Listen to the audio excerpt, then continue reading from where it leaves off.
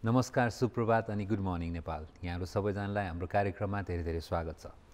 आज बुधबारको दिन समीर मणि छिटी र म यहाँहरू सबैजनालाई फेरि पनि नयाँ र नयाँ र रमाइलो कुराहरू छलफल गर्न हामी आउँदैछौँ। Sameer good morning welcome. How you today Ashesh good morning र दर्शकहरूलाई पनि मैले अब हे सरी तिमीलाई त नमस्कार गरेँ गरेँ र दर्शकलाई पनि फेरि दुई हात जोडेर नमस्कार गरेँ र यो कोरोनाको समयमा नमस्कार नै राम्रो छ भनेर सबैले भने हुनाले झन् यसको महत्त्व बढेको छ र आइएम गुड र आशिषलाई अब उसले सूर्योदय भयो कि भएन मैले थाहा नै भएन म फिर्ता लिन्छु? तिमीलाई तिमीलाई तिमीलाई अहिले सूर्योदय भयो होइन यो करोना करोना भइरहेको भएर करोनामा तिमीलाई नै पहिले केही वक्तव्य राख्न दिइहालेको? जरुर।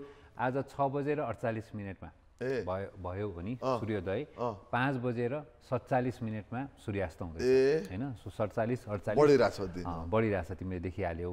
र मौसम पनि सायद एक दुई दिन अलिकति बढी चिसो बढ्या हो कि? काठमाडौँको हकमा कुरा गर्दाखेरि र नेपालभरि पनि चिसो नै छ अहिले अवस्था समेत यस्तो छ तिमीले याद गरेको एक किसिमले ठिक हो। दिउँसोको वेदर चाहिँ नि का पहाडी भागमा हिजो भने जस्तै बादल दिउँसो लाग्न थालेको छ दिउँसो दिउँसो दिउँसो भयो कि बादल लाग्दैन? अहिले अब यो किन भन्दाखेरि तापक्रम बढ्ने क्रममा छ। त्यो भएपछि बादलहरू अब डेभलप हुन्छ हामी स्प्रिङ वेदर जानु भनेको त्यही हो।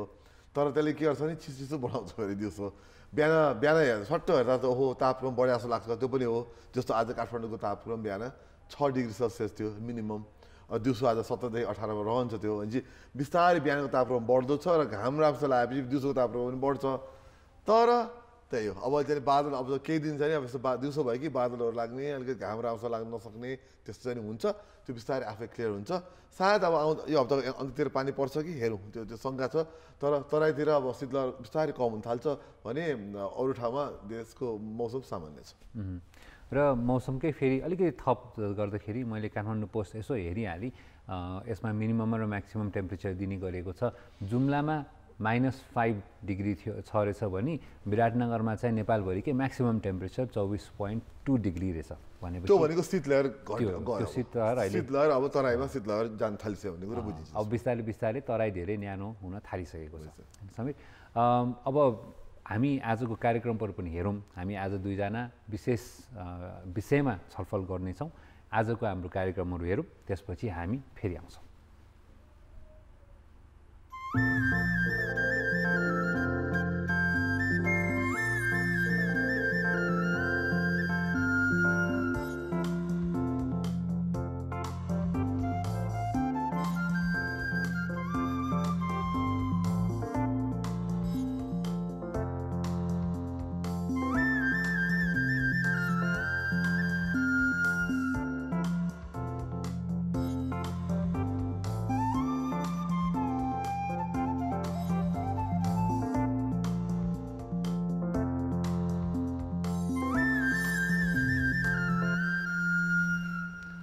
सो यी थिए आजका हाम्रो कार्यक्रमहरू।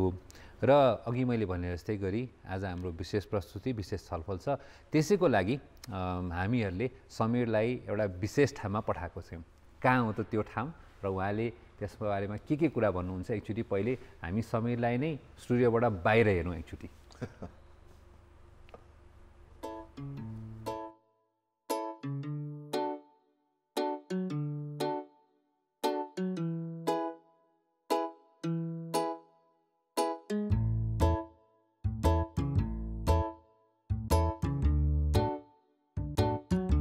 काठमाडौँ युनिभर्सिटीमा प्राध्यापक र कर्मचारीले आन्दोलन सुरु गरेको छ महिना बितिसक्यो।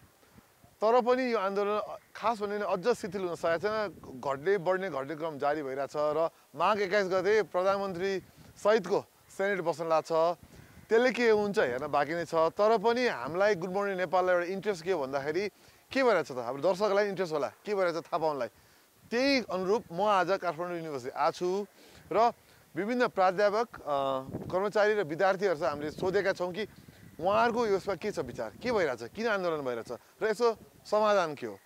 त्यो गर्नको लागि हामीले आज प्रो प्रोग्राम तपाईँहरूको अगाडि लिएर आएका छौँ। सर सर म त गएँ। त्यो दिन फेरि दिन पनि चिसो चिसो थियो कि। त्यो हामीले गरुन्जेल हामी त अब सबैजनासँग कुरा गरुन्जेल बादल आएर त्यसमा धुलिगेल त्यसमा त्यो चिसो चिसो दिनमा फेरि विद्यार्थीहरू बल्ल बल्ल अब आउनु थालेका छन् कि युनिभर्सिटी किनभने अब अस्ति के लामै आन्दोलन रह्यो। अब एक महिना अठाइस दिन अठाइस दिन लकआउट भएर अब बिस्तारै अब त्यो मेन म्यानेजमेन्टको तालाबन्दी यथावत नै थियो अस्तिसम्म। म जाँदाखेरि र कक्षाहरू चाहिँ सुचारू भइसकेका थिए। र यो अब आज तपाईँ देखिहाल्नु सुरु गर्नुपर्दा चाहिँ नि केयुमा केयु बारेमा तपाईँलाई भन्नु नै परेन। काठमाडौँ युनिभर्सिटी अब धेरै वर्षदेखिको राम्रो गनिएको विश्वविद्यालय हो नेपालको नयाँमा गनिन्छ। र त्यहाँ पहिलेको त्यसको इतिहास हेऱ्यो भने राम्रो पढाइ भनेर सबै छ।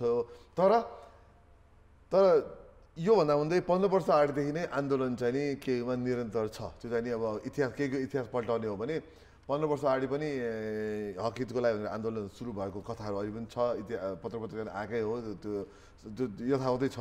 तर यो लास्ट छ महिना चाहिँ नि त्यो आन्दोलन फेरि फेरि सुचारू भयो भनौँ न। मागहरू उस्तै उस्तै उस्तै माग लिएर तर आन्दोलन जाने फेरि सुचारू भएर तिमीले भने जस्तै एक महिना जाने अस्ति बन्दै भयो। कक्षाहरू पनि बन्द भए र म्यानेजमेन्टको अफिसहरू पनि बन्द भए। र यसको लागि विभिन्न कारणहरू थियो पत्र पत्रिकामा आइहाल्यो होला। तर त्यो हुँदाहुँदै पनि हाम्रो इन्ट्रेस्ट चाहिँ के थियो भन्दाखेरि प्रा- प्राध्यापकहरू कर्मचारीहरू विद्यार्थीहरू र म्यानेजमेन्टले यसलाई कसरी हेर्नु भएको छ उहाँहरूले? उहाँहरूले यसलाई कुन एङ्गलबाट हेर्नु भएको छ र दर्शकहरूले यसबाट के लिने त भनेर हामी त्यो इन्फर्मेसन चाहिँ हामीहरू केही गएका थियौँ। र सर तिमीले भने जस्तै गरी यो काठमाडौँ युनिभर्सिटी त हामी अहिले भनौँ न हाम्रो यहाँ कार्यक्षेत्रबाट पनि नजिकै भएको भएर र अहिलेको जुन जल्दो बल्दो परिस्थिति हामीले देखेर त्यहाँ गयौँ। तर समग्रमा हेर्ने हो भने देशभरकै युनिभर्सिटीहरूको समग्रमा अवस्था उस्तै उस्तै नै छ। कुनै न कुनै मुद्दामा कुनै न कुनै कुरा उठाएर चाहिँ विभिन्न समय समयमा तालाबन्दी गर्ने परीक्षा रोक्ने शिक्षकहरूलाई विभिन्न किसिमको अप्ठ्यारो पार्ने यो सबै कुराहरू विभिन्न युनिभर्सिटीमा हुँदै आएको हो। र अहिले पनि हेर्दाखेरि देशको सबै युनिभर्सिटीहरूमा चाहिँ अलिकति अव्यस्तताकै माहौल छ। होइन? र तिमीले भने जस्तै गरी हाम्रो उद्देश्य चाहिँ सबैजनाको कुरालाई चाहिँ एकचोटि एउटै क्यानभसमा राखेर हेरौँ। अनि हामीले आफै विचार गरौँ कि के रहेछ त समस्या कहाँ छ कसरी लग्ने र के गर्दाखेरि राम्रो हुन्छ। किनभने अल्टिमेटली पढाइ रोकिनु भनेको विद्यार्थीलाई असर पर्नु भनेको हाम्रो देशलाई सबै समग्र रूपमा असर पर्नु हो। होइन एकदमै। र हामीले त्यही सिलसिलामा हामीले चाहिँ नि अ, सुरुमै हामीले म्यानेजमेन्टलाई पनि अप्रोच गऱ्यौँ तर के भएको थियो भन्दाखेरि म्यानेजमेन्टमा अहिले सभा हिजो जुन सभा हिजो भयो प्रधानमन्त्रीको नेतृत्वमा कुलपति प्रधानमन्त्रीको नेतृत्वमा जुन सभा हिजो हुनु त्यसले गर्दा म्यानेजमेन्टले बोल्न चाहनु भएन। उहाँले के भन्नु भने अब सभा नै हुन हुनाले त्यसमा धेरै कुरा हुन्छ त्यसले हामीले अहिले बोल्नु राम्रो हुँदैन भने उहाँले बोल्न मान्नु भएन। तर त्यहाँको स्पोक्स पर्सन हेमराज काफ्लेले चाहिँ हामीले अप्रोच गऱ्यौँ र उहाँलाई छोटकरीमा के भएको छ त? अहिले केहीको अहिलेको अवस्था हालको अवस्था के छ भनेर अस्ति हामीले उहाँलाई सोधेका थियौँ। त्यसको नै हामीसँग सानो क्लिप छ। अहिले काठमाडौँ विश्वविद्यालयमा प्राज्ञिक कार्यक्रमहरूको सम्पूर्ण दैनिक कुराहरू सामान्य रूपले चलिरहेको छ। कक्षाहरू सुचारू छन्। विद्यार्थीहरू घर गएका सबै फर्केर आछन् अ, त्यस पछाडि अब जाँचको तयारी भइरहेछ विभिन्न कार्यक्रमहरूमा। र अहिलेको लागि एकदम सामान्य छ। र अहिले काठमाडौँ विश्वविद्यालयमा काठमाडौँ विश्वविद्यालय सङ्घले उठाएको मुख्य मुद्दा भनेको चाहिँ काठमाडौँ विश्वविद्यालयमा भएका केही कमी कमजोरी र यो विश्वविद्यालयमा भएका के आर्थिक तथा नीतिगत कुराहरूमा संशोधन हुनुपर्छ त्यसलाई चाहिँ विचाराधीन गर्नुपर्छ भन्ने माग मु मुख्य रूपमा उठाएको हो। यदि यो विषयहरू चाहिँ समयमै समाधान भएन भने विश्वविद्यालयलाई कालान्तरमा ठुलो क्षति हुने देखेको हुनाले यसलाई हामीहरूले रोक्नको लागि र संस्थागत रूपमा यसलाई उठान गर्नको लागि र देशको मौलिक हक को स्थापित गर्नको लागि काठमाडौँ विश्वविद्यालय प्राध्यापक सङ्घ स्थापित हुनुपर्छ भनेर अगाडि बढाइरहेका हौँ। यही चाहिँ मुख्य माग हो। सो वेदमणि दाहालले पनि यसको बारेमा कुरा राख्नु सो उहाँले चाहिँ प्राध्यापक सङ्घको पक्षबाट भन्नुभयो यता गेमराज सरले चाहिँ हेमराज काफ्ले चाहिँ म्यानेजमेन्टको एङ्गलबाट उहाँले कुरा गर्नुभयो। भनेपछि समीर अहिले तिमी त गयौ कुरा पनि गऱ्यौ अब अहिले आएर हामीले कुरा उठाउन खोजेको कुरा गर्न खोजेको कुरा के भने यस्तो सानोतिनो अप्ठ्यारोहरू नमिलाउन सक्दाखेरि भनौँ न युनिभर्सिटीले पनि लिडरसिपले पनि त्यो नमिलाउन सक्दाखेरि कतिजना मान्छेलाई अप्ठ्यारो पर्छ। झन्डै झन्डै अट्ठाइस दिन पढाइ बन्द भन्नु भनेको विभिन्न फेरि काठमाडौँ युनिभर्सिटीमा देशभरिका विद्यार्थीहरू आएर धेरै निकायहरूमा चाहिँ उहाँहरूले पढाइ गराउनु भएको छ। र अहिले आएर यो छलफल चाहिँ तिमीलाई कस्तो लाग्छ समीर? के के यो इस्यु चाहिँ यो खास सल्भ हुन नसके किन? होइन यसो हेर्दाखेरि अ, अ, हुन त हामीले मैले पनि यसलाई केहीको मुद्दालाई पहिल्यै हेर्ने मैले मौका पाएको थिएँ किनभने पहिले कुनै समय त्यहाँ आबद्ध पनि थिएँ। त्यो बेला र यसमा अलिकति के के फरक चाहिँ अभियस चाहिँ छ। तर मुख्य मुद्दामा चाहिँ यो अझै एकदम क्लियर छ। मुख्य मुद्दा हामीले बुझेअनुसार हामीले मैले गरेर अरू अरू अरूको अब प्रतिक्रिया लिन्छौँ हामीहरू। मुख्य मुद्दा अरू आफ्नो आफ्नै ठाउँमा छ भने मुख्य मुद्दा भनेकै प्राध्यापक सङ्घ र कर्मचारी सङ्घ जो जुन पूर्ण रूपमा के अरे उहाँहरूको हकितको लागि हो। राजनैतिक भन्दा नि आफ्नो वर्गीय कामको हकितको लागि खडा गरे- गरिएको कुपा र कुसालाई चाहिँ नि युनिभर्सिटीको भित्र संस्थागत गरियोस् भने मात्रै हो। उहाँको त्यो सबभन्दा ठुलो मुद्दा नै त्यही हो कि। संस्थागत गरियो भने अरू ठाउँमा जस्तै एउटा सङ्घ सङ्घ सङ्गठन रहन्छ त्यो अवधारण संसार नेपालभरि नै छ। त्यसले गर्दा केही भित्र पनि त्यो रहोस्। किनभने त्यो पहिले पहिलेदेखि नै नेपाल प्राध्यापक सङ्घले नै संस्थागत गराएको सङ्घ भावनाले त्यो गरोस् भने मात्रै होस् सो अब अहिले बन्द गर्ने पनि यही कारणले गर्दाखेरि बन्द भएको र उहाँहरूले नै बन्द गराउनु भएको मैले बुझेअनुसार यस्तो छ। मुद्दाहरू अन्य अरू अरू मुद्दाहरू पनि छन् त्यहाँ तर मैले भनिहालेँ मुख्य मुद्दा चाहिँ नि कुपा र कुसालाई संस्थागत गर्ने र त्यो संस्थागत गरेपछि अन्य सानसाना मुद्दाहरूमा पनि सहमति गर्ने कुरा थियो। त्यसले गर्दा यो ठुलो खास माग होइन। क्लियर कट कुरा गर्ने हुन्छ नि। सङ्घ सङ्घ सङ्गठन सङ्गठनलाई केहीभित्र अ, मान्यता दिनु भनेको ठुलो कुरा थिएन। तर कुनै विभिन्न कारणवश अब हामीले बुझ्न गाह्रो छ। म्यानेजमेन्टबाट हामीलाई प्रतिक्रिया आएन। त्यो त्यसले गर्दा त्यो किन भएन भन्ने कुरा हामीलाई आफूलाई थाहा छैन। तर त्य त्यही मुद्दामा लिएर त्यो अगाडिको सोमबार पनि प्रधानमन्त्रीकै अध्यक्षतामा सेनेट बस्यो। त्यहाँ समस्याको हल नभएर फेरि हिजो मात्र बसेको छ। र हामीले बुझेअनुसार हिजोको प्रधानमन्त्रीकै नेतृत्वमा बसेको सभाले अरू सबै मुद्दालाई अग्री गर्यो। तर यो फेरि यो संस्थागत गर्ने मुद्दालाई फेरि छिनोफानो गर्नलाई अर्को मिटिङ गर्नको लागि कमिटी बनाएको छ। चार सदस्य हो कि तिन सदस्य कमिटी बनाएको छ। पूर्व भिसी सुरेशा शर्माको नेतृत्वमा बनाएको छ अरे। त्यसले फेरि अब छलफल गरेर प्रधानमन्त्री प्रधानमन्त्री सामु त्यसले आफ्नो विचार पेश गर्छ केही समय दिएको छ त्यसको लागि। र समीर यसै सन्दर्भमा हामीले स्टुडेन्टहरू अरू प्रोफेसरहरू उहाँहरूसँग पनि छलफल गरेको थियौँ। त्यसको बारेमा पनि सानो अर्को भिडियो क्लिप पनि हेरौँ। यो विश्वविद्यालयमा आन्दोलन किन गर्नु पर्यो भन्ने सन्दर्भमा चाहिँ विगत चौध वर्ष अगाडिदेखि नै काठमाडौँ विश्वविद्यालयमा प्राध्यापक सङ्घ र कर्मचारी सङ्घले आन्दोलन गरिरहेको थियो र त्यसले सङ्गठनको माग गरिरहेको थियो। उक्त सङ्गठनलाई आजको दिनसम्म पनि काठमाडौँ विश्वविद्यालयले आफ्नो आफ्नो नियमसँग तरिकाले राख्ने कामहरू नगरेका कारणले गर्दा आज पनि फेरि चौध वर्षपछि तिनै मागहरू लिएर काठमाडौँ विश्वविद्यालय आन्दोलनमा उठेका छन्। त्यो मात्रै एउटा कुरा रहेन कि त्यस सँगसँगै अरू चौध वर्षदेखि कार्यरत कर्मचारीहरूको सन्दर्भमा हालको दिनसम्म पनि उहाँहरूलाई स्थायी गर्ने बढ बढुवा गर्ने कुनै पनि प्रक्रियाका कामहरू नगरेका कारणले गर्दाखेरि सो सम्बन्धमा हामीले एउटा ज्ञापन पत्रको रूपमा व्यवस्थापन पक्षलाई बुझायौँ हाम्रो माग सुनवाई गरियोस् यो कुराहरू गरिदिनुहोस् त्यसपछि समस्या समाधान हुन्छ भन्दाखेरि उहाँहरूले त्यसलाई मनगणन्ते सम्झेर आजसम्म पनि सम्बोधन नगरेका कारणले गर्दाखेरि समग्रमा सबै कर्म शिक्षक कर्मचारीहरू एकत्रित भएर आन्दोलन गर्नु परेको हो यो आजको अवस्थामा यो छ। आज एक सय अस्सी दिन भइसक्यो आन्दोलन सुरु गरेको दिनबाट आजको दिनसम्म भन्दाखेरि पनि कुनै पनि मागहरू सम्बोधन भएको छैनन्। व्यवस्थापनको पक्षहरू वार्ता गर्नको लागि कुनै पनि समय हामी तयार छौँ आउनुहोस् भन्दाखेरि वार्ताको समस्या समाधान गर्नको लागि उहाँहरू उद्धत हुनुहुन्न। उहाँहरू समस्यालाई झन् उल्झाउनु प्रयास गरिराख्नु भएको छ। यसै बिचमा पनि एउटा यही मागको सम्बन्धमा लिएर विश्वविद्यालयले विशेष सभाको आयोजना पनि गर्यो। उक्त सभामा पनि उक्त निर्णय चाहिँ हुन नसकेर पर्सि एक्काइस गतेसम्मको लागि फेरि त्यही नै कन्टिन्यू हुने भइराखेको छ। त्यसबाट पनि पास हुन्छ भन्ने कुरामा अझ पनि हामी शिक्षक कर्मचारीहरूलाई विश्वास लागिरहेको छैन।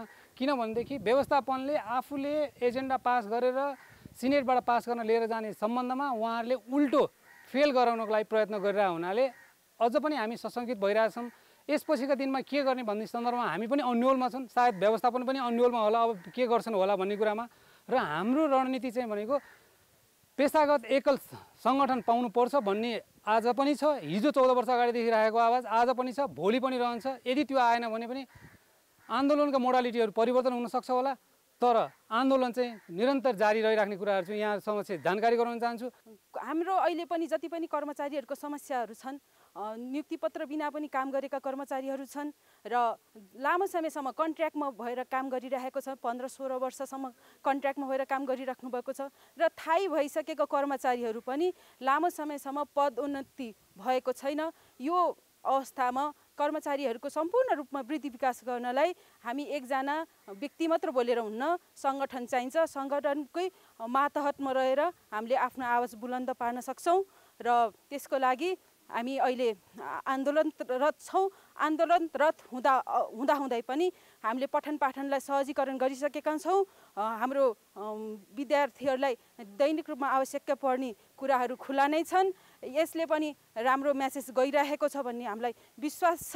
रहेको कुरा माघ एक्काइस गतेको कुरा। माघ एक्काइस गते हाम्रो पेसागत हक हितको लागि सङ्गठन सङ्गठन सङ्गठन हामीले पाएनौँ भने कुसालाई अनुमोदन गरिएन भने अहिलेसम्म चौध वर्षसम्म आन्दोलनरत हुँदा पनि कसैले पनि राजनीतिक झन्डा उचालिएको छैन र लामो समयसम्म चौध वर्षसम्मको पीडा कर्मचारीहरूमा छ। यदि यही अवस्थामा पेसागत हकितको लागि तपाईँहरूले सङ्गठन दिनुहुन्न भने हामी पनि बाध्य हुन्छौँ कसैलाई रोक्न छेक्न सक्दैनौँ। यहाँ कर्मचारीहरूले आफूलाई मन परेको विचारको आस्थाको हिसाबले आफ्नो राजनीतिक पार्टी चुन्नेछन्। अनि त्यो अवस्थामा तपाईँ एउटा कुसाको प्रतिनिधिसँग डिल गर्नुहुन्छ कि प्रत्येक राजनीतिक पार्टीको सङ्गठनको कर्मचारीसँग डिल गर्नुहुन्छ?